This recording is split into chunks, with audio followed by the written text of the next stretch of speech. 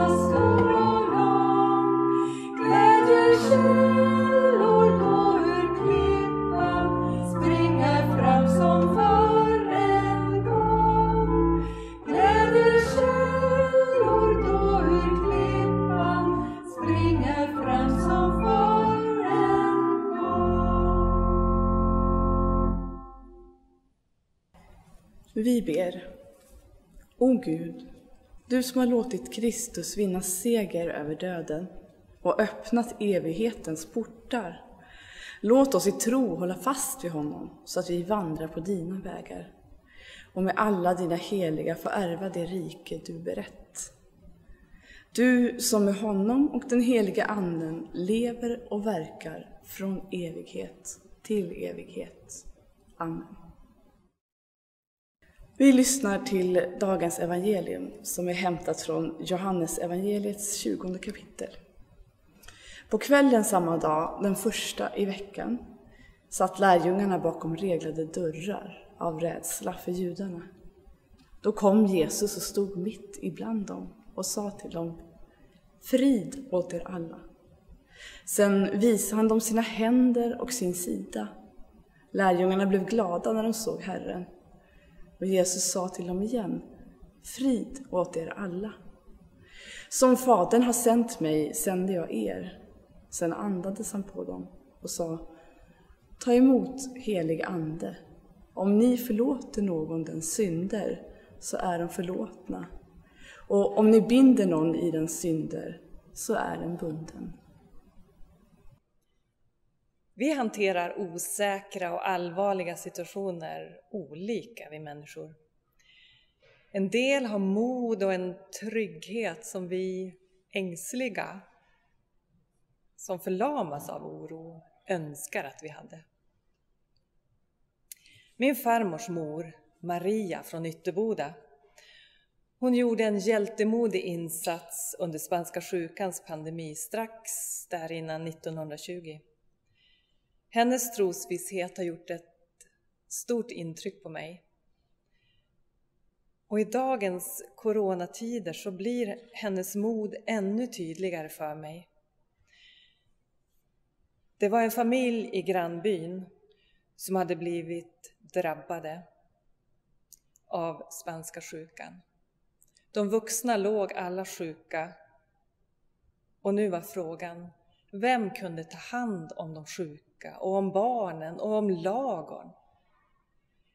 Ja, lagon kunde lösa sig, men att våga gå in i huset och ta hand om de sjuka och riskera att själv bli sjuk. Jag vet inte hur Maria tänkte, men jag är övertygad om att hon bad till Gud om ledning innan hon tog beslutet att gå till grannbyn för att hjälpa familjen. I trosvissheten att få lämna allt i Guds händer oavsett vad som hände. Så hon gick till Osnäs och hon lämnade sin familj där barnen var i tonåren och kunde reda ut situationen där hemma. Hon stannade i två veckor och skötte de sjuka, tog hand om barnen, hjälpte till i lagorn. Familjen blev frisk och Maria gick hem till sitt. Allt hade gått bra. Gud var i tack. Byborna tyckte att istället för kyrkoherdens porträtt på bönhusväggen så borde det sitta ett porträtt av Maria på den väggen. Det finns många modiga människor idag också som trots risker vårdar de svårt sjuka. Gud välsigne er och Gud beskydde er. Jag ber för er varje dag. Den här söndagens tema, annandag påsk, det är möte med den uppståndne för Jesus möter både de modiga och de ängsliga. Och det berättas om ett möte med den uppståndne strax innan dagens evangelietext. Och jag vill ta med den också. Det är Maria från Magdala och några till kvinnor som var Jesu vänner och som hade stått där bredvid Jesus hela den här svåra tiden i Jesu närhet, vid korset, vid svepningen av kroppen, varit med och lagt hans kropp i graven. Och så blev allt stilla under sabbaten. I gryningen efter sabbaten, på söndagens morgon, så är Maria från Magdala och hennes vänner ute vid graven trots soldaterna som vaktade och risken för förföljelse. Hon såg den tomma graven och hon fylldes av oro att någon hade flyttat kroppen. Hon skyndar till lärjungarna som hade isolerat sig av rädsla och berättar att graven är tom och Johannes och Petrus de, de bryter sin skyddande isolering och springer till graven och ser den tomma graven, undrar och går hem. Maria stannar kvar vid graven hon lutar sig in och hon gråter. Där möter hon den uppståndne. Jesus säger hennes namn och hon ser och hon tror och hon utbrister Mästare! Och Jesus ger henne uppdraget att berätta om honom. Han blir, hon blir den som får förkunna det glada budskapet till de isolerade lärjungarna. För av rädsla så hade lärjungarna låst dörren och isolerat sig. En rädsla att själva bli drabbade av förföljelse. När Johannes skriver sitt evangelium så har det gått en ganska lång tid och man kan ana att den där konflikten mellan de judar som är kristna och de judar som är emot de kristna De lever i en konflikt. Det såg vi där i evangelietexten. Och nu sitter lärjungarna där rädda och ängsliga. Inte modiga än. Inte hängivna än. Inte trosvissa än.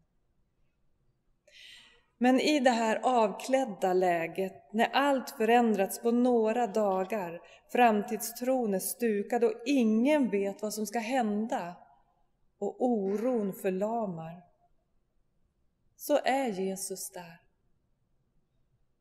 Mitt ibland dem. Och det första Jesus säger, det är frid åt er alla. Och så säger han igen, frid åt er alla. Och i mötet med den uppståndne så får de hopp om en framtid som inte ens döden kan rå på.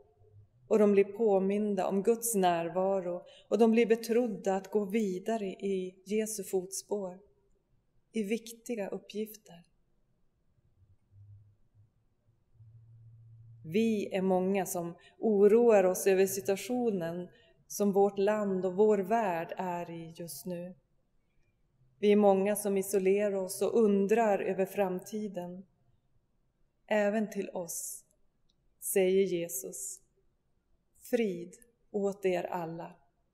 Frid åt er alla. Gud är nära. Det finns en framtid som inte ens döden kan rå på.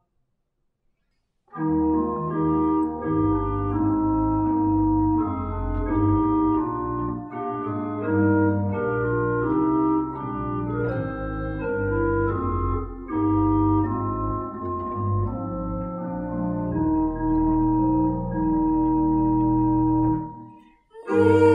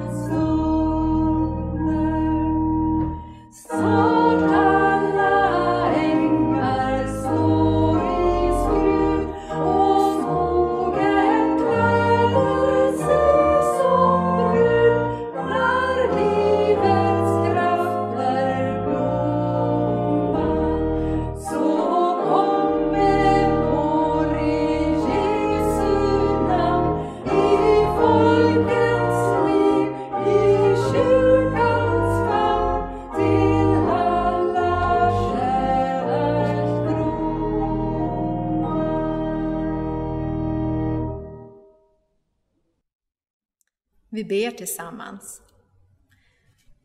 Jesus Kristus, du som gått från död till liv, kom till oss med ditt liv in i våra liv. Du känner oss alla, både vi som oroas mycket och vi som är ganska lugna.